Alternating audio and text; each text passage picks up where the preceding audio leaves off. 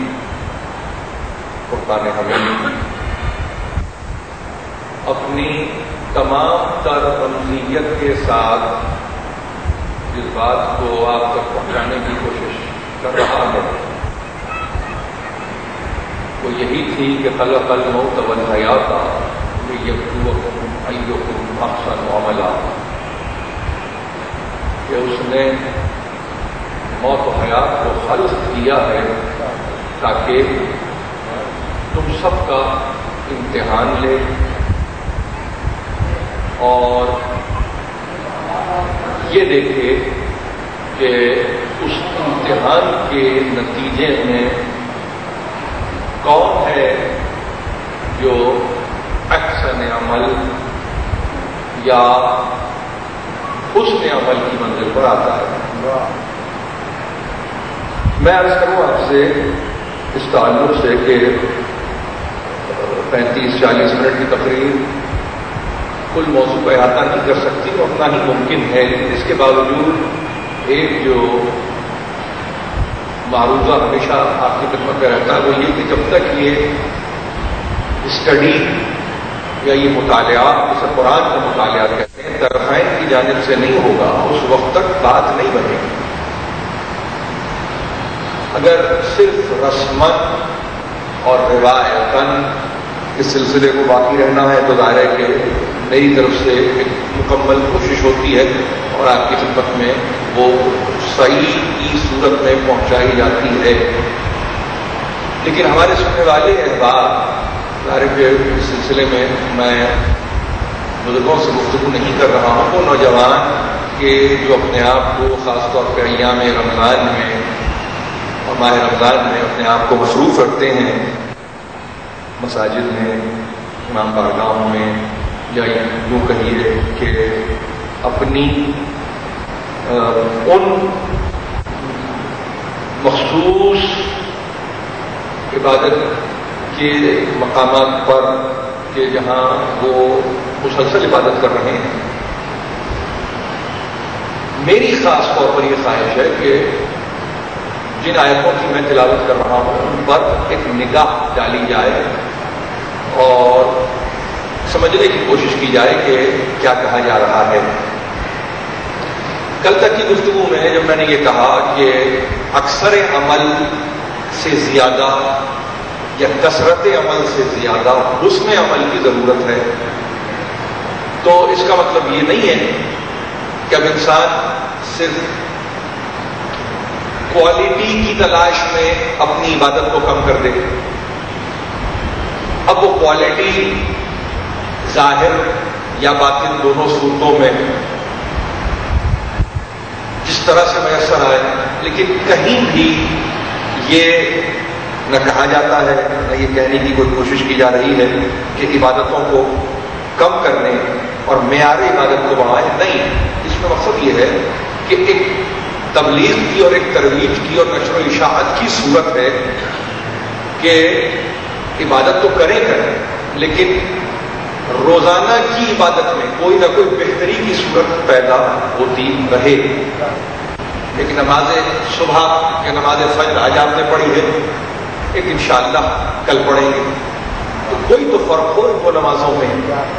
अगर ये एक मैकेनिकल अमल के ज़रिए नमाज़ पढ़ी जा रही है और सिर्फ़ इसमें दो बातों का ख्याल रखा जा रहा है कि नमाज़ तो पढ़नी ही है और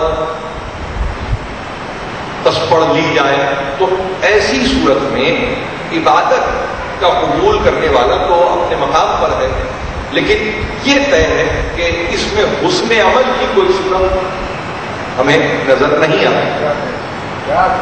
इस ताल्लुक से जब मैंने खास तौर पर कसरत अमल की बात की तो मैंने यहाँ तक कहा था कि इमाम शशुम का यह फरमाना कि बहुत मशक्कत की बात होती है ऐसे अमल पे बाकी रहना, जिसमें यानी हुस्न भी हो और इखलास भी हो। अमल से ज़्यादा मुश्किल काम है। लेकिन बहरहाल, चूँकि इब्तला के साथ आपके इस सफ़र को कायम किया गया है, लिहाजा हर मंजिल पर और हर मौके पर आपको ये देखना होगा कि अमल में क्वालिटी का लेवल कल के मुकाबले में आज क्या था और आने वाले कल क्या होगा। इसी गुफ्तगु जरा समय आगे बढ़ाते हुए आज दो आयतें आपकी खिदमत में पेश की गई हैं। उनमें जो थीम है, उस थीम को समझ लीजिए। और मुतहैर है जमाना। और कैफियत यह है कि मुफसर हैरान और परेशान है कि जब पुराने मजीद में सूरह मुल्क ने एक मरतबा ये कहा कि वो अल्लाह कि जिसने सात आसमान बनाए, वो अल्लाह कि जिसकी तिलकत अल्लाह नहीं, बल्कि समझिए कि जिस इसम को इस्तेमाल किया है, वो है रहमान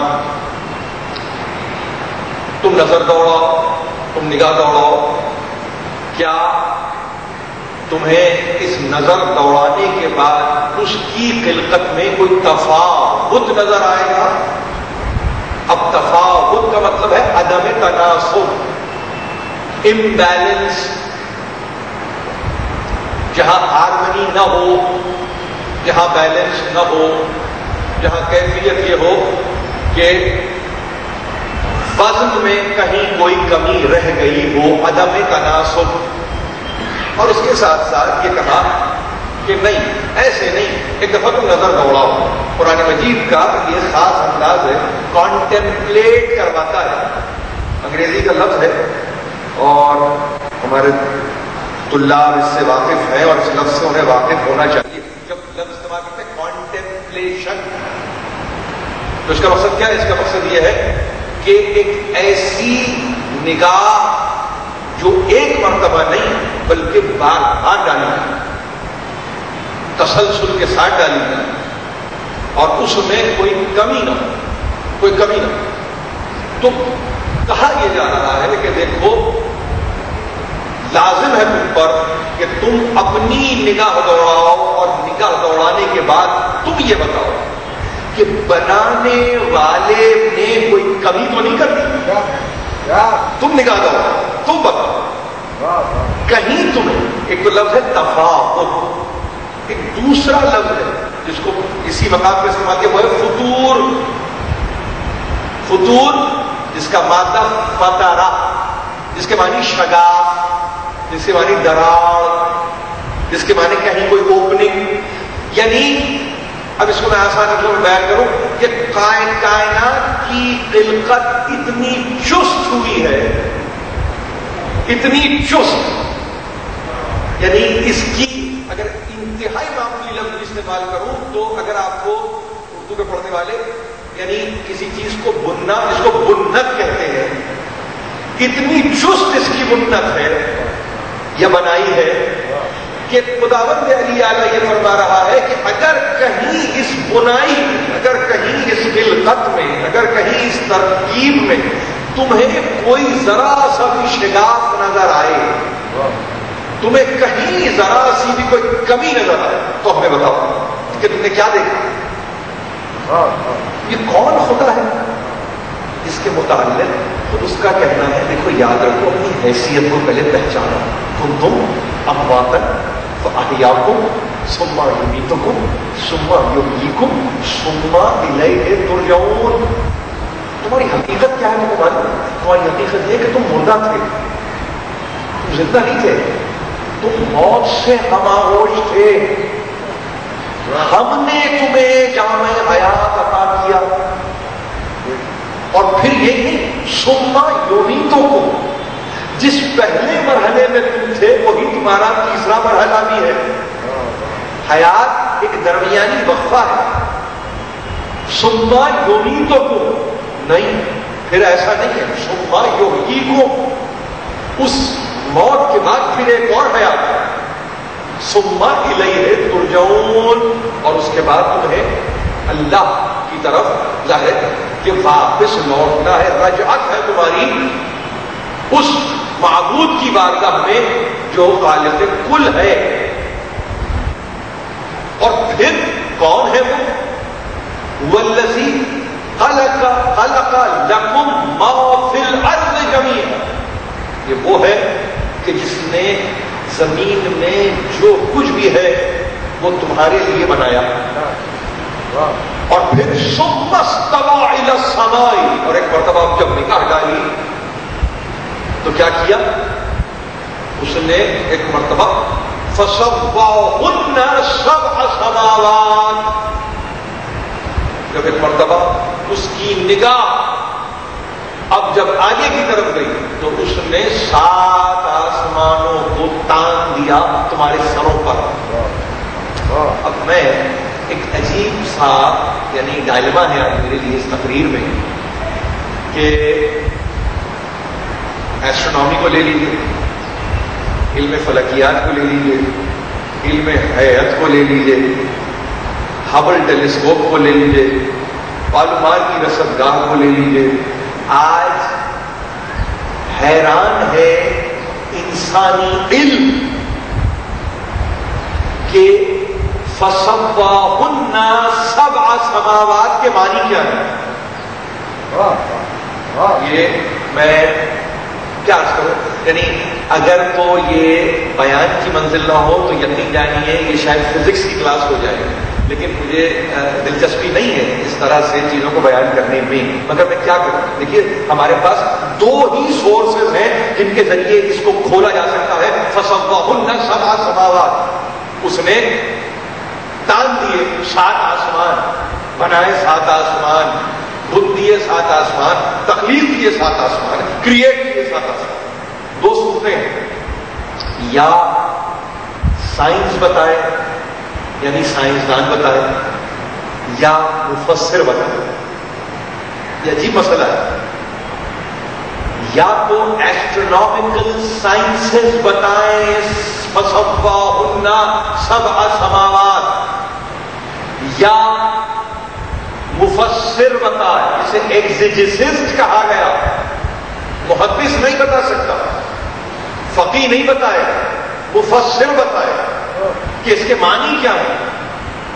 अब आपसे अर्ज़ करूँ, हमारे दौर का, उर्दू जबान का, बड़ा अपने यानी एतबार से, अजीम नाम और कुरान की तर्जमानी के ताल्लुक से इस नाम को अपनी हो सके मौलाना मौजूदी यानी तमाम तर अकलानी कोशिशों के बाद आप मुल्क के ताल्लुक से हाशिया पढ़ लीजिए इस आयत में दो, और बकरा के ताल्लुक से जिन आयतों को मैंने पढ़ा, उस हवाले से देख लें तो दोनों सूरतों में महसूस ये होता है कि तर्जमा करने वाला इंतहाई मजबूर हो गया। यानी जब आप हाशिए देखेंगे ना, हैरत होती है, हैरत। हैरत होती है, क्या यानी कहना पड़ा मौला मौदूदी को इस ताल्लुक से कि सात आसमान क्या है? कोई नहीं बता सकता। यानी ये मैं मौलाना मौदूदी को अगर वर्बेटम भी अगर कोट ना करूँ तो मैं, यानी जो जिस्ट में, जो एक खुलासे के तौर पर अगर मैं आपकी खिदमत पहुंचाऊं तो फरमाते हैं कि सात आसमान क्या है? इसके मुतालिक ना कोई जानता है, ना कोई बता सकता। है सिर्फ़ एक बात कही जा सकती है, इन सात आसमानों के ताल्लुक से वो ये कि जितना इंसानी इल्म बढ़ेगा, उतना ये तस्वुर खुलता चला जाएगा। ये मुफसर कुरान है। मुझे जो घबराहटें हैं, वो तो आप जानते हैं घबराहटें क्या हैं। या तो अपने आप को न कहो कि मुफसर हूँ। और अगर कह दिया है कि मैं मुफसर हूँ, तफसीर कर रहा हूँ तो फिर ज़िम्मेदारी से करो। और पढ़ने वालों को जमाने के हवाले ना करो। ये न कहो कि आने वाला वक्त बताएगा कि सात आसमान क्या है। तो ये खिदमत दीन की नहीं हो रही है। ये कुरान के ताल्लुक से फिर खिदमत नहीं हो रही, बल्कि ये सहमत में आप मुब्तला कर रहे हैं, अफकार को। और खास तौर पे वो अफकार जो नौजवान है, उनको आप एक ऐसी जहनी असीहत में मुब्तला कर रहे हैं कि सात आसमानों की खिलकत के ताल्लुक से अभी बताया नहीं जा सकता। कोई इसको बताने की हिम्मत नहीं कर सकता।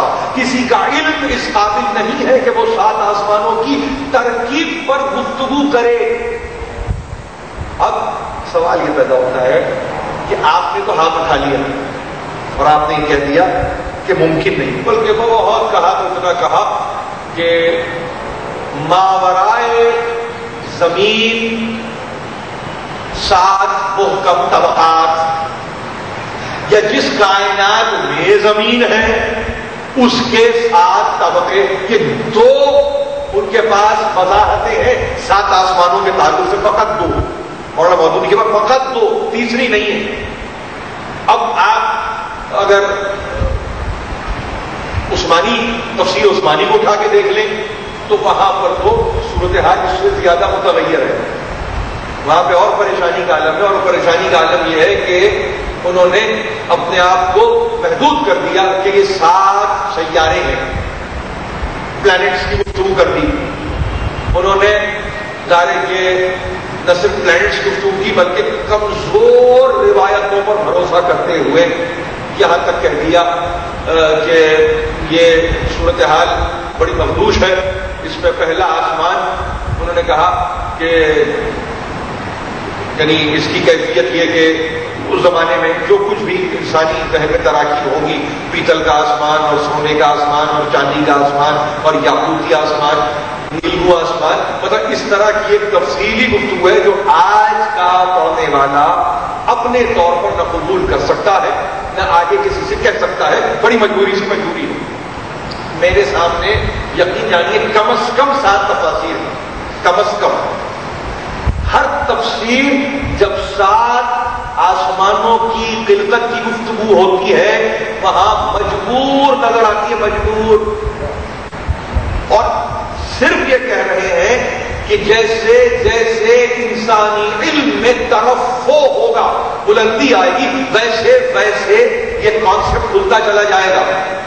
अब हमारे साथ इसको मुश्किल कह लें या आसानी कह लें एक, हम आने वाले वक्त पे भरोसा करके कुरान की तफसीर पर नज़र नहीं दौड़ाते ये अजीब मसला है, इसको भी समझ लीजिए हम आने वाले वक्त पे भरोसा नहीं कर रहे इसलिए कि हमारा बड़ा कह चुका है कि आने वाला वक्त गुजश्ता वक्त से ज़्यादा मुश्किल है। हर एतबार से मुश्किल है। आप जो, यानी तस्वुर कायम करें समाजी सियासी, माशी, माशरती, जो चाहे, मुश्किल से मुश्किल दौर आ रहा है। आसानियाँ नहीं है, लेकिन उसमें अगर कोई ये कहे दीनी एतबार से एक आसान दौर आने वाला है नामुमकिन सी बात है। नामुमकिन सी बात है। लिहाजा लिहाजा एक इतमान कहिए इस मुश्किल के बाद एक इतमान है कि किसी ने तो यकीनन बताया होगा। किसी ने तो बताया होगा ऐसा नहीं होगा कि उसने जमाने के हवाले कर दिया और ये कहा हो कि जमाना बताएगा तुम्हें के साथ आसमान क्या है। देखिए अब मसला क्या? मसला मसले को सुन लीजिए और समझ लीजिए दो अप्रोचेस से मैंने अर्ज़ किया आपसे कि इस मसले को आप सॉल्व कर सकते हैं, इस मिस्ट्री को कह लीजिए इस पजल को कह लीजिए एक, या तो मुझे साइंस बताए, या एक, मुझे मुफसर बताए। साइंस की बुनियाद यह है, अगर सुनना चाहते हैं तो वो भी सुन लीजिए, कि हबल टेलीस्कोप ने मैक्सिमाइज जब विजन को किया इंसानी निगाह को मैक्सिमाइज किया है हबल टेलीस्कोप ने तो बताया कि उसकी निगाह इंतहाई सतह तक अगर जाए तो एक बिलियन दूरी साल तक इंसान की नज़र जा सकती है। एक बिलियन यानी आज 2008 में बैठ के अगर आपको मैं तहकीक बताऊँ, मगरब की तो उन्होंने कहा कि हमने अब जब कायनात को खोला तो हम सिर्फ़ ये बताने के काबिल हुए हैं कि ये कायनात हम पे एक अरब दूरी साल तक की खुली है। इस एक अरब नूरी साल तक की खुलने वाली कायनात हमें यह बता रही है कि अभी तो हम अपने गैलेक्टिक सिस्टम ही से नहीं निकले। यानी जो हमारा अपना निज़ाम है जिसे शमसी निज़ाम कहते हैं वो ये कह रहे हैं कि अभी हम इससे बाहर नहीं गए। इस निज़ाम में, जो हमारा एक बिलियन दूरी साल पर मुश्तमिल निज़ाम है, इसमें यकीनन मिलियंस ऑफ़ गैलेक्सीज मौजूद हैं, मगर वो एक ही है, एक से ज़्यादा नहीं है। किसी ने पूछा कि तखमीना तो लगाओ, देखिए मुफसर ने क्या कहा? मुफसर ने कहा कि आने वाला वक्त बोलेगा कि ये सात आसमान क्या है। तो आने वाला वक्त नहीं। साइंस ने जवाब ये दिया मुफसर को, वो मुसफिर मुफसर जो कंफ्यूज है। साइंस ने उसको क्या जवाब दिया? साइंस ने उससे सिर्फ़ इतना कहा कि देखो, हम अभी भी कुछ नहीं कह सकते, इसलिए कि हम पर अभी एक अरब नूरी साल खुले हैं। हम तखमीना ये लगा रहे हैं कि ये निगाह इतनी वसी होगी जिसके नतीजे में एक वक्त आएगा कि सौ ट्रिलियन नूरी साल तक की निगाह फैल जाएगी मगर कायनात का हद कायनात की कोई इंतहा कायम नहीं कर सकते। यानी एक बिलियन 2008 में आप कह रहे वन बिलियन लाइट ईयर की मसाफत तय की है। ह्यूमन विजन ने थ्रू हबल टेलीस्कोप उसका मतलब यह हुआ उस हबल टेलीस्कोप के ईजाद कुनंदा ये कह रहे हैं मैक्सिमाइज भी हम कर पाएँगे तो हम ये महसूस कर रहे हैं कि ये कायनात 100 ट्रिलियन नूरी साल तक जा सकती है। अब एक बिलियन और सौ ट्रिलियन यानी अरब और खरब अगर इस तरह की गुफ्तु हो तो यानी वो अदद अब अब मैं आपसे करूँ वो फिक्रें जो सात आसमानों के ताल्लुक से कभी कभी कहती हैं कि ये एक हिसाबी गिनती नहीं है। बल्कि परवरदिगार अली जब एक मरतबा अपनी कायनात की वसअतों का तस्करा करता है तो इस गिनती को हिसाबी ना समझा जाए। ये तस्वुराती गिनती है। यानी अब क्या हुआ? अकलें माउस होने लगी तो वो सात समझ में ना आए। जब सात समझ में ना आए तो उसको कह दिया कि ये एक तस्वुराती शय है, जिससे ज़्यादा इसकी हैसियत नहीं है। यानी क्या किया? तफसीर को आसान कर दिया। यानी क्या किया? यानी ये किया कि अब नौजवान को ये कहने की कोशिश की जा रही है कि तुम्हें सोचने की ज़रूरत नहीं है, इससे आगे। वो ये कह रहा है जो पैदा करने वाला है कायनात का फ़र्ज़ इल्बसर कर रहा है। एक दफ़ा नहीं वो करने देखे। यानी वो कि जो चाहे तो इस अददी गिनती को तस्वुराती कर दे। तस्वुराती गिनती को अददी कर दे। वो मुसलसल ये कह रहा है कि देखो इसमें गौर करने की ज़रूरत है। रोकते नहीं है हम तुम्हें। पैदा हम कर रहे हैं हल हम कर रहे हैं क्रिएट हम कर रहे हैं। रोकते नहीं है हम तुम्हें। यानी क्या मतलब? तहसील इल्म की सूरत पिन्हा है। तुम्हें सीखते रहना है तुम्हें जानते रहना है। कि तुम कहाँ तक जा सकते हो? तुम फैसला करोगे ये हम नहीं फैसला करेंगे हमने तो लामुतना ही कायनात तुम्हारे सामने रख दी है इस लामुतना ही कायनात की तनावों तक पहुँचने के लिए हम तुम्हें इल्म दे रहे हैं और इल्म ऐसा इल्म कि जिसके मुतालिक फकत इतना ही कहा जाए तो बेहतर है कि वो अलीम है और तुम्हें इल्म देने की कोशिश कर रहा है। बस। बहुआ बेकुल्ले शय इन अलीम। ये एक ही सूरत से मिस्ट्री सॉल्व होगी कि जब उस अलीम पर इंसान अपने इल्म का मदार कायम करे। कोई सूरत और नहीं है। अब मालूम है, साइंस यहाँ आके जो डेफिनेट अपने आप को कहती है, मैं अपने सुनने वालों के लिए कहूँगा और मुझे कहने की जैसे ये बड़ी तशवही रह जाएगी, अगर मैं ये बातें नहीं कहूँ और ना करूँ। और मैं नहीं चाहता कि किसी भी हवाले से हमारे कोई कोई जाविया जो है इस तकरीर का अधूरा रह जाए या कमज़ोर रह जाए। साइंस जो अपने आप को सारी ज़िंदगी डेफिनेट कहती है। कि जो हमने कह दिया बस वो हतमी है। वो साइंस सब असमावाद तक आते आते इंडेफिनेट हो गई। अब वो हतमी ना रही, गैर हतमी हो गई। अब मुझे ये बताइए कुरान का भेजने वाला, इन तस्वुरात को आपके सामने रखने वाला, क्या क्या ऐसे इल्म की तरफ़ आपको रुजू करने के लिए कहेगा कि जिसमें हतमीयत न हो? यानी, क्या ऐसा इल्म कोई इल्म होता है जिसको आपके गैर हतमी इल्म है? मेरे पास इल्म है, मगर गैर हतमी है। क्या कहेंगे? आप सुनने वाले क्या कहेंगे? अगर मैं इस वक्त कह दूँ कि मैं ये गुफ्तू कर रहा हूँ अगर मैं जानता नहीं हूँ कि मैं क्या कह रहा हूँ तो जवाब क्या है? जवाब क्या आएगा फिर आप गुफ्तू कर क्यों यही है ना? सीधा सा मसला है सीधा सा मसला कुरान की तफसीर के ताल्लुक से मुफसर आसानी से कह के सरक आगे बढ़ गए। और ये कहा कि नहीं ये इंसानी इल्म पर इसका मदार है, जैसे जैसे फ़र्क बढ़ेगा वैसे वैसे इल्म इंसानी आगे बढ़ेगा और नतीजे में सवा सवाल समझ में आएँगे। कुरान नहीं कह रहा, कुरान ये नहीं कहता, कुरान कहता कॉन्टेम्पलेट करो गौर करो फ़िक्र से काम लो तदबीर से काम लो हिकमत से काम लो अपनी अकल को इस्तेमाल करो और फिर बताओ कि जो तुमने देखा, उसमें कोई कमी थी? उसमें कोई तफावत था? उसमें कोई फतूर था। और ऐसा भी नहीं है कि हमने सात आसमान बना दिए तस्वुराती नहीं। ऐसा हमने नहीं किया। कदाल का मुरी इब्राहिमा मलकूत समावती वलर्द यकून मिन अलमुकनीन। हमने तस्वुराती समा और अल कायम नहीं किए।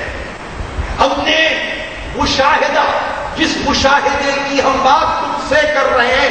फ़र्ज़ बसर यंग कले बिल बसर रजाते बसर। जो जितनी बातें हम कर रहे हैं, और एक मतलब नहीं, कर रहे जिसको तफसीर करने वालों ने कहा मुकर्र एक दफ़ा से ज़्यादा निगाह दौड़ाने की ज़रूरत है। दो दफ़ा से ज़्यादा निगाह दौड़ाने की ज़रूरत है। तीन दफ़ा से ज़्यादा निगाह दौड़ाने की ज़रूरत है। मुशाहिदा करो मुशाहिदा। पुराने मजीद अजीब बात बताऊँ मैं आपसे। पुराने मजीद ने ये मुल्क में नहीं कहा। इंसानों से तो कहा कि तुम्हारा काम मुशाहिदा करना है। लेकिन हमने इंसानों के सिलसिले में आला अरफा इंसान को मुशाहिदा करा दिया। कजाल लेकर नूरी, लफ्ज नूरी है नूरी, दिखा दिया हमने। मुशाहिदा करा दिया हमने। खोल के रख दिया हमने। इब्राहिम नाम भी दिया। उसके बाद, यानी नामों को छिपा के गुफ्तु नहीं होती। मलकूत समावती हमने डोमिनियन को बताया। हमने उस इनविजिबल वर्ल्ड को बताया। मुल्क विजिबल है, याद रखिएगा। मलकूत इनविजिबल है। कजाल का यूरी इब्राहिम मलकूत समावाती वलर दुनिया कह रही है सभा समावात के ताल्लुक से, सात आसमानों के ताल्लुक से मुफसर कह रहे हैं मौजूदी कह रहे हैं कि नहीं, ये तो आने वाला वक्त बताएगा, सात आसमान क्या है मुफसर हैरान हो गया, धोखा खा गया, घबरा गया, हाथ पैर छोड़ दिया मुफसर ने सभा समावाद तक आते आते लेकिन इस आयत पर नज़र नहीं डाली कि इब्राहिम को जो दिखा चुका हो, यानी ऐसा नहीं किया उसने कि कल करने के बाद उसका मुशाहिदा न करवाया हो। नहीं। ऐसी तकलीफ़ बेकार है जिसका देखने वाला कोई ना हो। बेकार तकलीफ़ होगी। देखिए आर्टिस्ट अपने शहबारे को अपने फनबारे को जब तक न दिखा दे सुकून नहीं आता उसको। शायद जब तक अपने कलाम को न सुना दे चैन नहीं आता उसको। आप समझ रहे हैं? तो वो जो सन्ना है, जो हकीकी माने में साफ़ है, बनाने वाला है, और अपनी मसनू को बना के जब पेश करता है आलम रूयत में, आलम शहूद में तो ऐसा नहीं करता कि फकत अपने लिए बनाता है कि वो रिफ्लेक्ट करता रहे उस पर नहीं। अपनी बनाई हुई चीज़ को कितना देखेगा ऐसा तो हो कोई इंसानों में कि जो उसकी मसनू की तारीफ़ भी तो करे तोसीफ भी तो करे, और उसके बाद कहे, अल्हम्दुलिल्लाह रब्बिल आलमीन। इसका मतलब यह हुआ कि अब ये अलहम के माने तारीफ़ से ज़्यादा तशक्कुर के हैं। कि मालिक तेरा शुक्र है। तो इब्राहिम के मुतालिक कहा कि हमने उसे वो जो मालिकुल मुल्क है मलकूत दिखा रहा है जो इनविजिबल वर्ल्ड है। और मलकूत के साथ फकत मलकूत कह के नहीं उनका, मलकूत समावाद, वो समावाद जिससे मौदूदी घबरा रहे हैं। वो जिससे मौदूदी साहब घबरा रहे हैं, वो समावाद हमने दिखा दी। लेकिन अब देखिए, इस एक आयत में याद रखने की ज़रूरत है। आज आप देखें या वो इब्राहिम जो देख चुका हो, दोनों का मकसद एक होना चाहिए। हबल टेलीस्कोप के लिए कायनात नहीं बनाई है। किसी रसदगाह के लिए कायनात नहीं बनाई है। तुम्हारा इल्म इससे मुस्तफीद होता है, हमें नहीं मालूम कि इसमें कोई इजाफा होता है या कमी होती है। हमें इससे भी दिलचस्पी नहीं है। हमने कायनात को क्यों बनाया ले यकूना मिनल मुँह के नील हमने इसलिए बनाया कि तुम यकीन करो। यकीन करने वालों में हो जाओ। यकीन करने वालों में शामिल हो जाओ। किसका? अल्लाह का। यानी सब समावाद की खिलकत का वाहिद मकसद।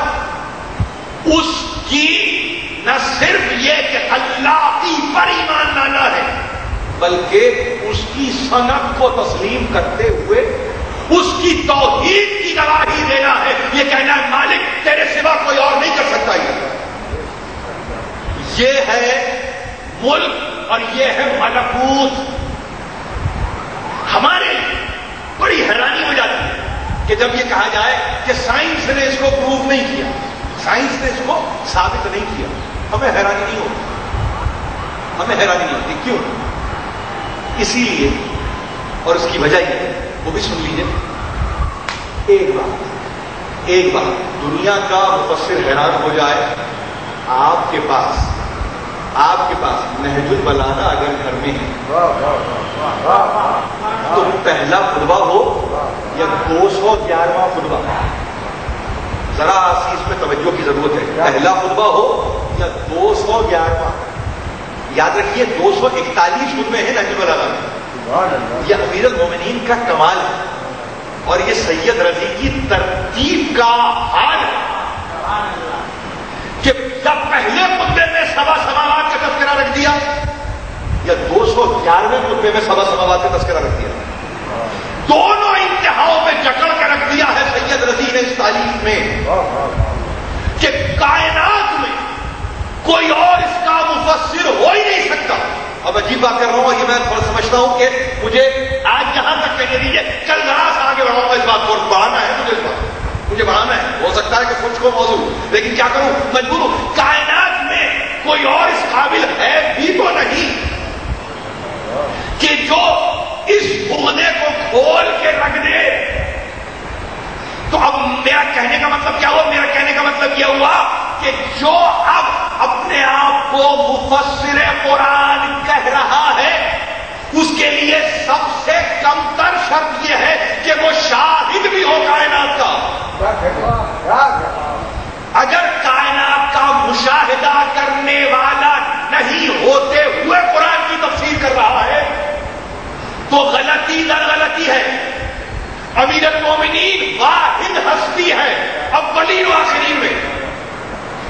कि जो कायनात का शाहिद उल कफा बिल्ला है शहीदा ताइनी व बाइनकू वमन इंदहू इल्मुल किताब। काफ़ी है शहादत के लिए।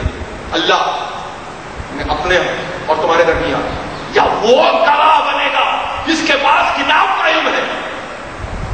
किताब का इल्म है मुफसरीन वो जो साहिबान अक्ल मुफसरीन है, उन्होंने कहा, इसमें कोई और मुराद नहीं, इससे मुराद किसी और की तरफ़ नहीं सिवाय इब्न अभी तालिब जिसका इल्म इतना वसीफ हो, अमीर हो, गहरा हो, मज़बूत हो, कि किताब का तो किताब का इस तरह से नहीं कि तंजील और तालीम पे नज़र है, नहीं, खिलकत कायनात पे नज़र है।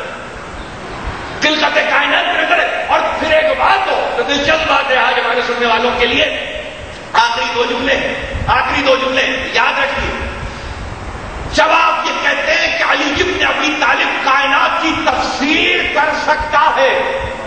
कायनात की तशरीफ़ कर सकता है, कायनात को खोल सकता है। तो इसका मतलब ये हुआ, उम्र के एतबार से कायनात युग से बड़ा होगा, तभी खोल के रखेगा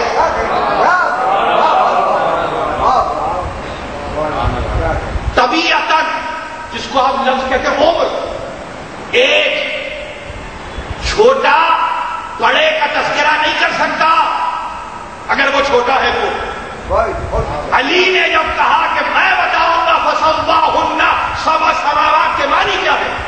तो इसका मतलब यह है कि उसकी दिलकत से पहले मौजूद था जो कल खोदा हुआ देख रहा था। अली स्पेकुलेटिव बेसिस पे तफसीर नहीं करते कुरान की अली किसी इब्ने अब्बास से सुन के नहीं करते तफसीर। अली किसी उमर इब्ने आज से सुन के नहीं करते तफसीर। अली किसी खलीफा राशिद से सुन के नहीं करते पुरानी तफसीर। अली कहता है कि मैं बताऊँगा मैं देख रहा हूँ। मैं देख रहा हूँ कि ये सात आसमान कैसे करती है। तो अव्वल मा खलक अल्लाह से लेकर अव्वल मा खलक अल्लाह नूरी तक। अब जब इन हदीस को मैं देखता हूँ तो अब मुझे हैरानी नहीं मुझे हैरानी नहीं इसलिए कि अगर एक भी इस आलम में जहाँ साइंस फेल हो गई है, मैंने क्या किया आपसे साइंस ने दम तोड़ दिया है सात आसमानों के तस्वुर पर। साइंस आगे नहीं बढ़ रही साइंस ने स्पेकुलेट किया, हंड्रेड ट्रिलियन लाइट ईयर्स का बस। इससे ज़्यादा नहीं है। यानी एक इंफिनिटी आपके सामने रखी। और आपको एक लिहाज से जरा सा रोग में साइंस ले आया कि हम वो फिगर देखें जो इन्होंने न सुनी हो। न, न सुनी हो। आपको मालूम है सौ वर्ष पहले क्या तस्वूर था इसी साइंस का? कि हर आसमान दूसरे आसमान से पाँच सौ लाइट ईयर के फासले पर है। ये सौ वर्ष पहले का साइंस का तस्वूर है। किताबें मौजूद है। ना इन किताबें पब्लिश हुआ। आज जो किताबें मेरे पास है। मैंने खोल के देखा, हँसी आती है। उस वक्त इसलिए कि कह दो, कहना ही तो है, रहने वाला कौन है? अली का मिजाज ये नहीं है। अली को कयामत तक रहना है। सात आसमानों को कयामत तक रहना है। खुदा लिप्त के साथ ये नाम याद रखिए। साहबी है। इमाम मोहम्मद बाकर सलाम मरतबा देखिए बात कहाँ से कहाँ आ गई और ये आखिरी जुमला है मेरा। खिदमत में आए। और आए तो इमाम बंदी ने पूछा खुजैल तुम सलमान के इल्म से तो वाकिफ हो? कहा, मौला, यकीनन। का क्या ख्याल है सलमान में इतना हजल गए थे। ये तो सुना है। इल्म के मुताबिक क्या ख्याल है कहा मौला अव्वलीन आखरीन का इल्म था सलमान पास कहा अव्वलीन आखरीन का मतलब मालूम? सलमान को अव्वलीन आखरीन का इल्म हासिल। इसका मतलब मालूम है? कहा हाँ मौला, इसका मतलब है बनी इसराइल का इल्म और रसूल अक्रम का इल्म।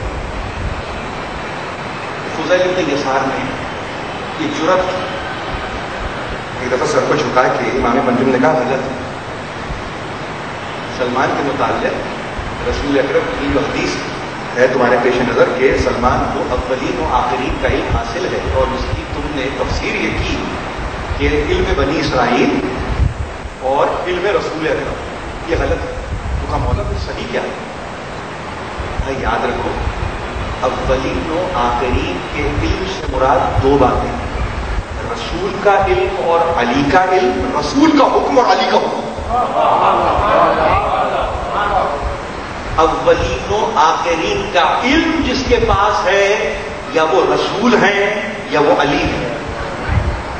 तो अब इसके बाद जब आपसे कोई ये कहे कि सवा समावाद को वो बताएँगे तो घबराहट नहीं होती हमें हैरानी वो भी बताने वाले हैं, और इस दुआ के साथ जब पर पालने वाले परवरदिगार, वास्ता तुझे मोहम्मद वाले मोहम्मद का हमारे नौजवानों पर इन रूप के दरवाजों को मुंकशिफ कर दे बात कर दे, हमारी परेशानियों को दूर कर दे। हमारी मुश्किलों को आसान कर दे। हम में जो बीमार है उनको शफाए हम में जो बेरोजगार है किसी मुहैया परवरदिगार, हम में जो बीमार है, उनको सेहतमंद कर दे। हमें कोई हमला दे सिवा हमें आज मोहम्मद की ताजी फरमा दो कुछ